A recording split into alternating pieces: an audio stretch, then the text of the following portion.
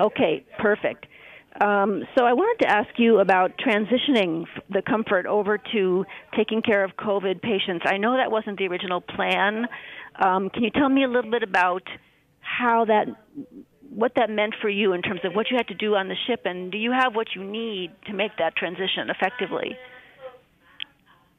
Well, we originally thought that we are going to use the comfort for some of those high trauma cases, like a, say a car accident or a stabbing, uh, those kinds of things. And what we found was based on uh, everyone staying at home, and uh, there really was a significant reduction in those kinds of injuries, which is a wonderful thing.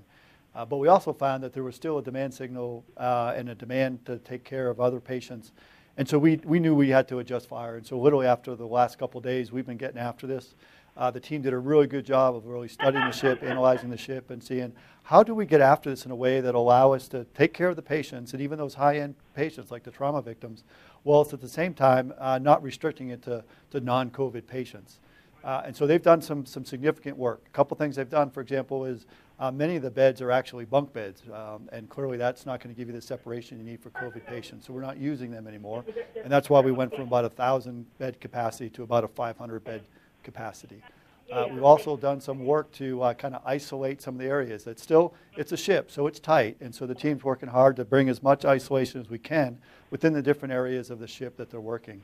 Uh, they've also worked, for example, we've taken the crew off the ship. So instead of the crew uh, berthing on the ship, we brought them to the New York City hotels uh, in order to free up space and capacity there as well. And we built some tents outside of the ship uh, that allow us to do some of the processing, keep a nice separation between all of the patients, uh, and allow us to do the, uh, the, the, the, care that we need for the patients in a COVID environment while still being able to bring that high end care, even surgery. We have operating rooms, ICU beds. Take full advantage of that, but, but not limiting it to only uh, non COVID patients. And uh, we're ready for this. We're already executing it. Uh, we had given the order um, to prepare for this, and once the order from the commander in chief was given uh, to go uh, execute it, then we didn't waste a, a moment, and we are, we are already operating in this environment now.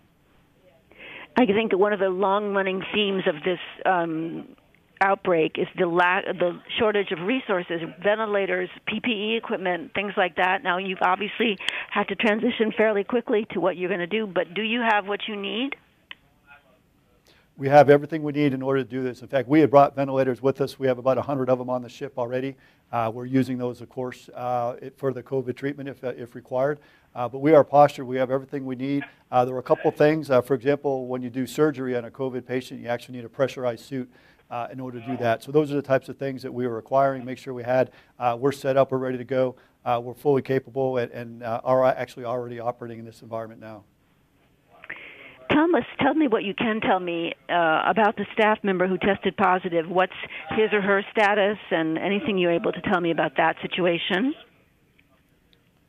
Uh, well, we do have a crew member uh, who had come up positive in COVID. There's no impact to our operations and uh, no impact clearly to the patients. In fact, it was a crew member not related to the medical treatment, but actually one of the ship's crew.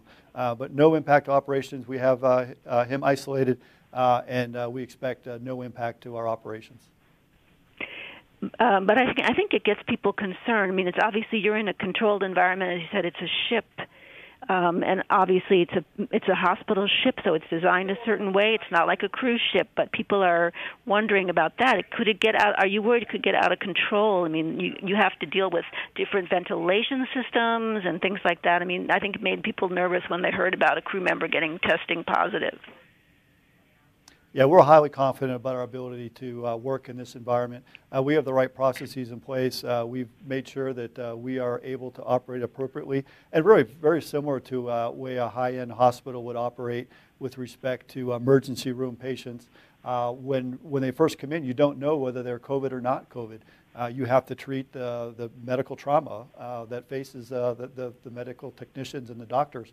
And so that's our first, our first priority is to one, make sure that we are able to provide the appropriate medical treatment. Uh, we have the right PPE or the protection for our doctors, our nurses, our med techs, uh, so they can do so safely. Uh, but we're, we're ready. we've been providing life-saving medical capability already, and we'll continue to do that without regard to whether a patient is positive or, or, or not been exposed to the virus yet the you know the comfort has traveled all over the globe helping people all over in medical need you're helping americans now and it doesn't happen very often what does that feel like there's something very special about operating right here at home, whether it's our Homeland Defense mission where we defend this great nation, or whether it's us providing care to our, to our citizens. Uh, it's a very sacred mission set. We're very proud to be part of this whole of America approach. Uh, and we feel that uh, we are bringing a very uh, incredibly important capability where it's needed right now across America. But you're fighting a war, obviously, but it's an enemy you can't see which has got to be a little unusual for you. What do you, how do you take that on? It is challenging, and, and we've taken on many enemies, but this is uh, this one is a daunting one because, as you mentioned, you can't see it, you can't physically see it. Uh, it brings many challenges, and even our what we call mission assurance is making sure that we maintain our ability to do our core mission sets, our critical mission sets of defending this nation. And so we've had to take a different approach because of that. And we're taking precautions. Uh, we've isolated crews. Uh, we, even within this headquarters here, uh, we maintain our social distancing. Uh, we keep as much separation as possible. But we have to keep fighting. We can't stop. Uh, we, the mission goes on. Uh, and we're finding ways, just like we always adapt, no matter what enemy we face. We're adapting to this enemy, and we will prevail you have a, such a big area of responsibility outside of the comfort and you know that area. Tell me else. Tell me some other things that you want to let us know that the military are doing in other regions and other parts of the country and other areas. What else is going on that we need to know about? As you mentioned, uh, we're, we're, focused all over our great nation, and uh, clearly a lot of capability has been pushed towards New York City and, and, and now also to New Jersey and Connecticut. Uh, but we're also involved all over the nation to include, for example, we put a hospital up in Seattle. Uh, we have the Mercy in California. Uh, we have a hospital, uh, Navy hospital that's uh, deployed to, uh, to New Orleans, to Dallas. we're working closely with the National Response Coordination Center, Pete Gaynor. Gaynor and I talk often about where is the next area that we need to be able to bring our capability. And so we're looking at a lot of different areas where we will be able to respond. Uh, we're in response to the National Response Coordination Center's priorities, uh, and we go where they need us. Uh, and they're obviously tied in, as are we, to the White House task force to make sure that we're postured. And we're, we are uh, command and control set up all over the nation, whether we go to Alaska, whether we go to the West Coast, whether we go to the northern border or the southern border. Uh, we, we are ready to go wherever our nation needs us. I think those were my questions. Is there anything I didn't ask you that you want to add? Uh, one thing I might talk about is a public private partnership. Yes. Uh, one of the Tell great things that we've seen it. is a public, yeah, okay. One of the great things that we've seen is a public private partnership.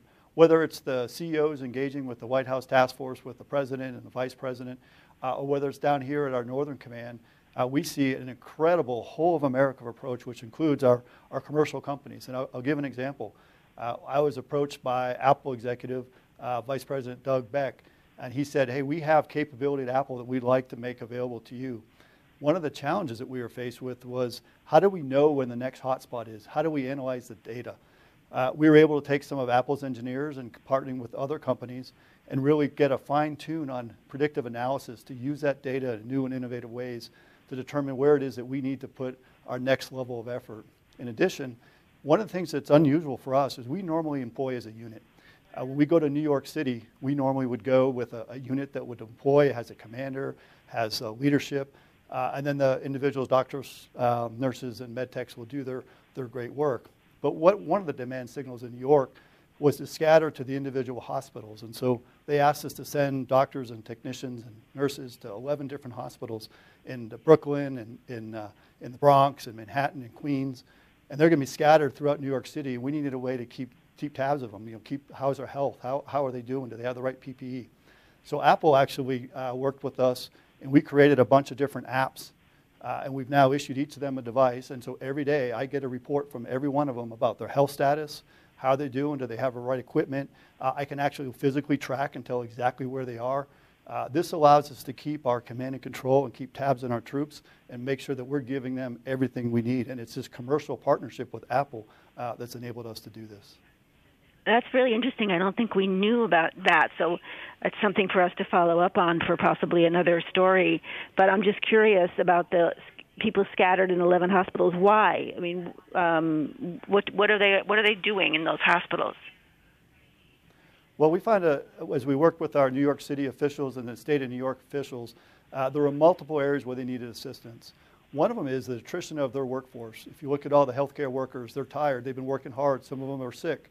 Uh, they need a break. And so what we were able to do was take 325 doctors, nurses, uh, and respiratory uh, therapists, and we are actually able to bring them directly to the hospital so that some of the doctors, nurses, uh, and therapists could take a break. Uh, and some of them, again, they're sick. They've been exposed to the virus. And so we were able to go directly to the hospitals, provide that medical care, integrate right into the hospital, uh, and, and provide that, that relief, if you will, uh, for the workers that have just been the, the unsung heroes of this overall effort.